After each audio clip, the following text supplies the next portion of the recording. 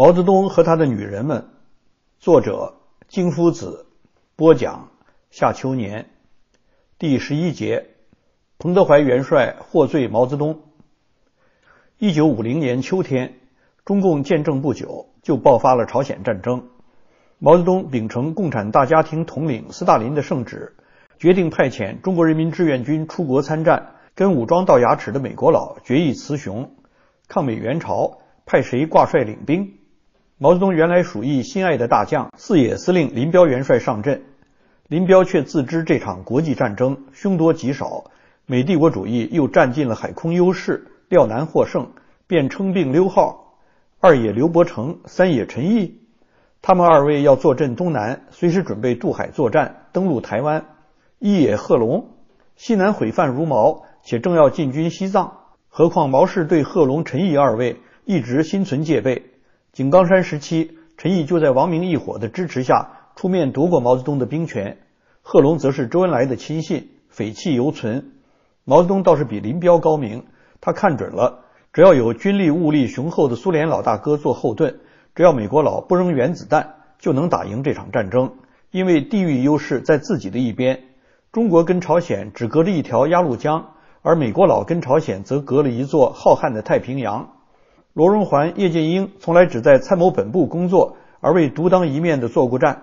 最后，毛泽东选定了他的湘潭老乡——中国人民解放军副总司令彭德怀。彭德怀忠心耿耿，功高望重，勇猛异常，足可号令三军，威慑敌人。彭德怀出身贫寒，自1928年领导平流暴动上井冈山起，便担任了中国工农红军的副总司令。他一生刚直不阿，只知领兵打仗。不知争权谋利，为中共第一功臣、忠臣。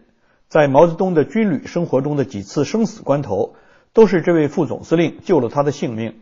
大陆民间早有彭老总四救毛主席的传说，毛泽东自己也曾有诗云：“山高路远坑深，敌军纵横驰骋，谁敢横刀立马？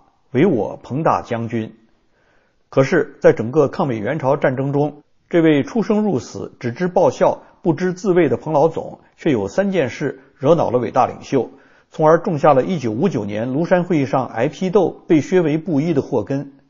一是毛泽东的长子毛岸英，1950年跟随彭德怀赴朝作战，官拜师政委，却在一次战斗中被美军飞机扔下的炸弹炸死。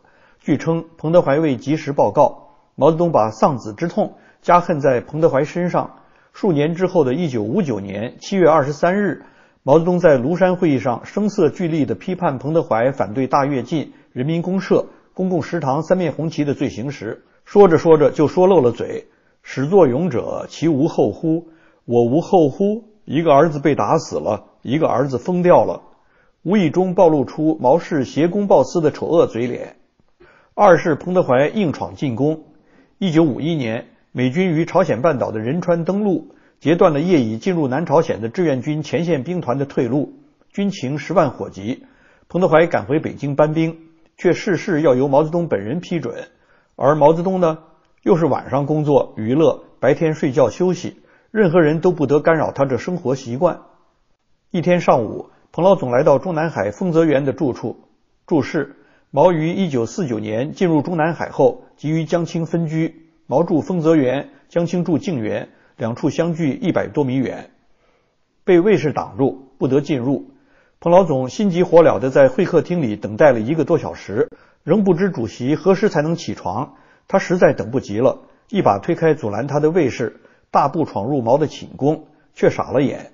毛正搂着一个年轻女护士睡觉，彭德怀只得转过身去，让毛泽东和那美女穿好衣裤，但他就是不肯离开，因为一旦离开，毛泽东会拒绝接见他。天啊！三个军的干部战士被截断在南朝鲜，美国人都快过鸭绿江了，你却大白天抱着小女人睡觉，搞腐化。三是彭德怀下令撤销了中南海歌舞团。一九五三年，朝鲜战争打成了平手，谈判停战后，援朝志愿军陆续归国，其中由一批漂亮的女孩组成的志愿军歌舞团回到北京后，竟然隶属于中央服务局，改称为中南海歌舞团。一批纯洁漂亮的姑娘，每天晚上陪伴毛泽东等人跳舞。有时跳一支曲子，毛泽东竟要换三个舞伴。当时刘少奇、朱德、周恩来都家世正常，刘朱更是儿女绕膝，安享天伦之乐。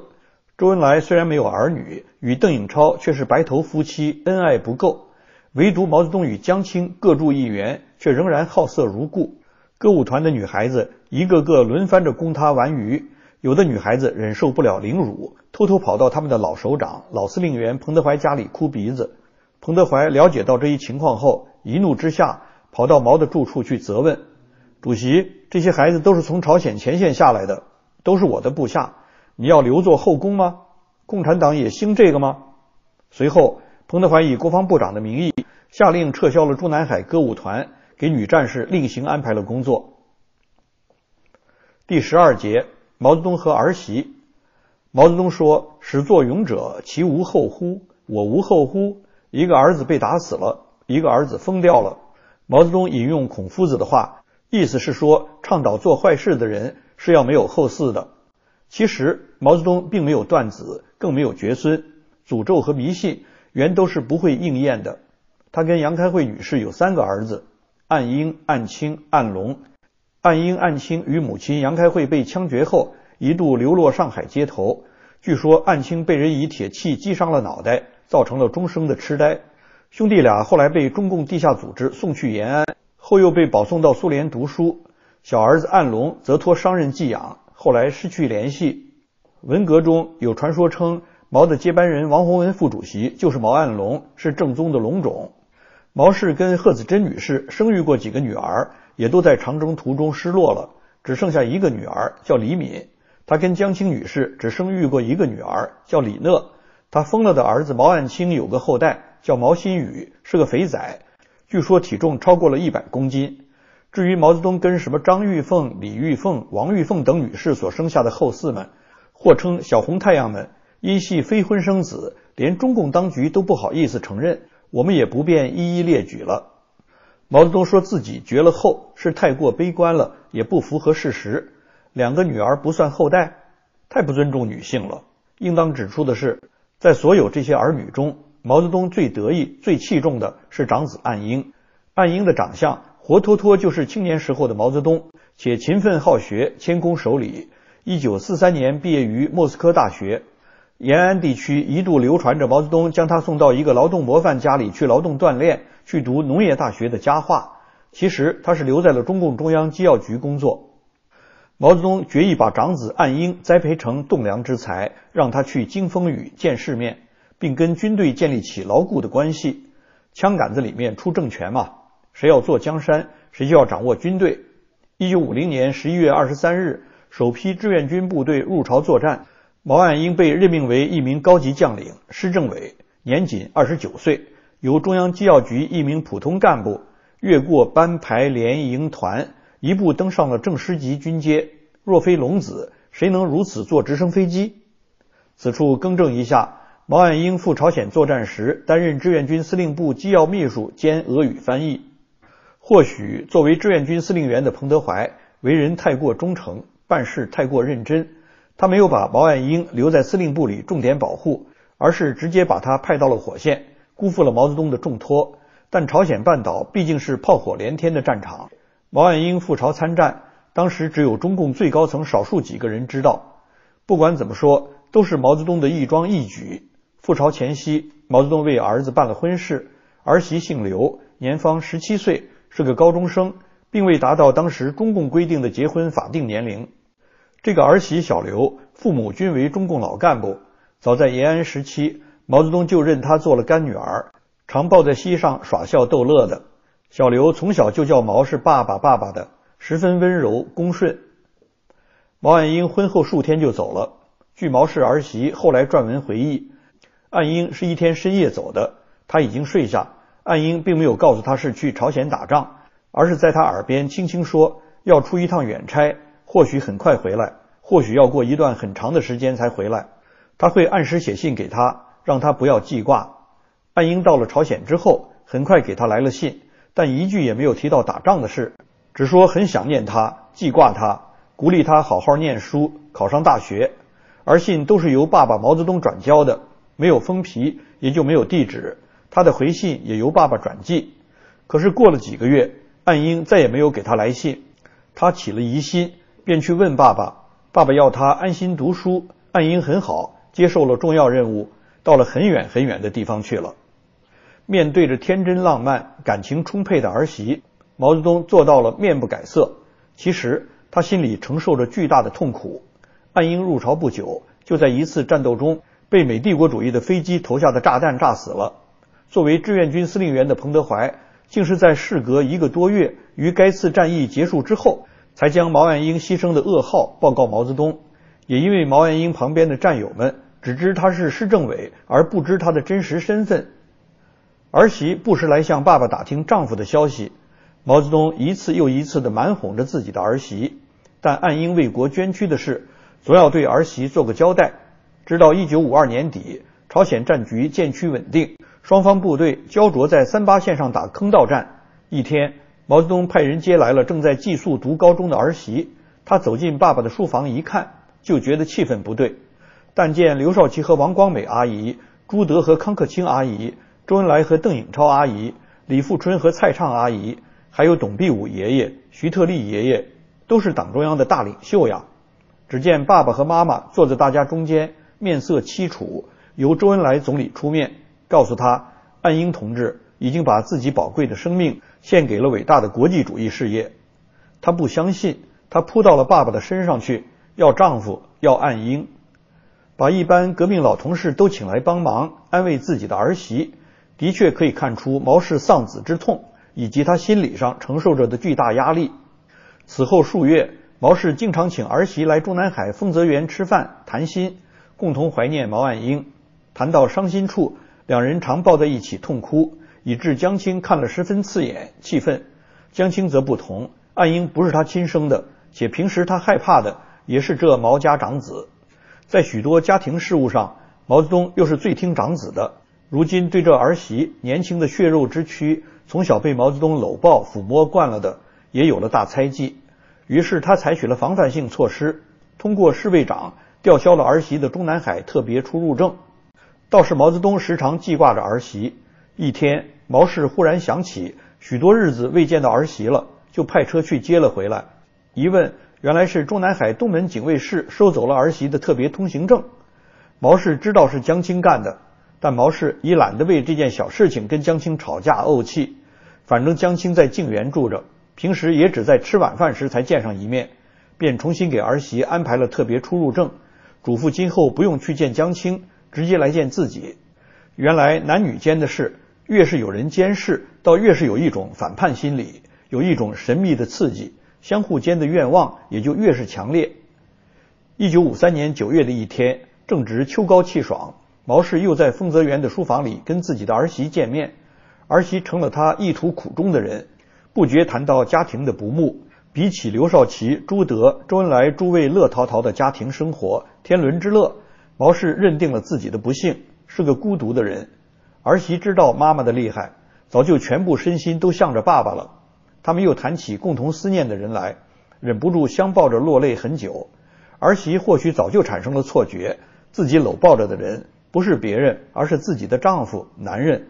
她的欲望，她的心愿，就是要伺候自己的男人。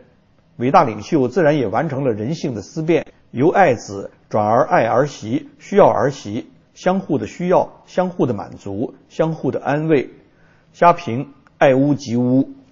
恰在这时，江青一头撞了进来，见了他们的模样，顿时打破了醋罐子，歇斯底里大发作，又哭又闹的，什么难听肮脏的话。都一股脑的骂了出来。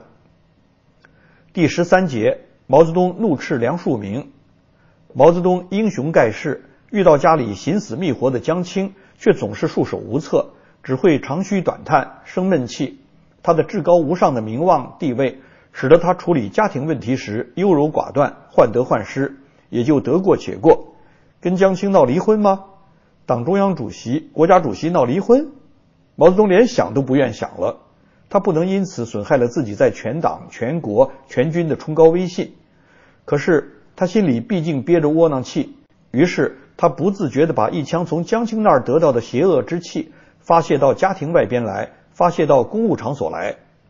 这就是江青污他爬灰，赶走了心爱的儿媳之后，毛泽东在中央人民政府的大会上讨论农业问题时，不顾身份、不成体统的以乡村泼妇骂街式的恶俗言辞，破口大骂他的老友梁漱溟先生的由来。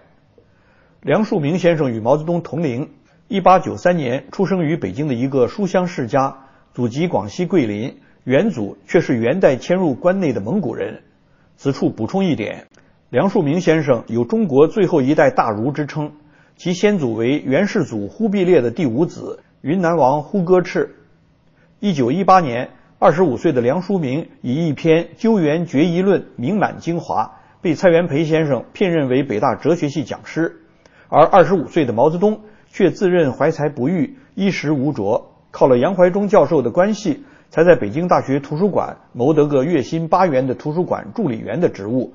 入不敷出，便经常投宿于杨怀忠教授的家里。梁漱溟常到杨怀忠家中高谈阔论，给他开门或关门的无名之辈，就是今天的毛泽东。梁漱溟自然没有把他放在眼里。后来，梁漱溟去到山东半岛的胶东半岛上搞乡村改革试验。大获成功，更使他成为国际知名的大学者。可是，时隔二十年之后的一九三八年，毛泽东造反有成，做了称雄一方的中共最高领袖，把他武装割据的陕甘宁边区变成了模范边区，引得梁漱溟先生以无党派人士的身份前来考察。二人再度见面，一个是政党领袖，一个是中国农村问题专家，今非昔比了。但毛泽东表现出礼贤明士的风范。在延安留客三日，讨教中国农村问题。毛氏依据马列理论，认定解决农村问题只有经过阶级斗争，打倒地主，平分土地。梁氏认为治重病不能用猛药，只有逐步推行经济变革，振兴乡村教育，活跃乡村经济，提高乡民文化素质，才是改造乡村乃至整个中国的唯一途径。两人各抒己见，激烈辩论，通宵达旦，谁也没有说服谁。两人倒是约定，日后根据社会发展的事实再来做结论。一九四九年，大陆政权易手，梁漱溟先生自认与毛泽东有交情，留了下来迎接新政权。毛泽东帝业新基，对于社会贤达、学者名流的梁漱溟表示了许多关爱，安排梁氏担任了全国政协委员，替梁氏全家在共和国内找了个清静住处，再又派梁漱溟去四川省参加土改，这一切。自然都是毛泽东的赏赐。梁漱溟从四川土改回京后，每隔一两个月，毛氏总要派车接他到中南海家中吃饭聊天儿真是皇恩浩荡，礼遇非凡了。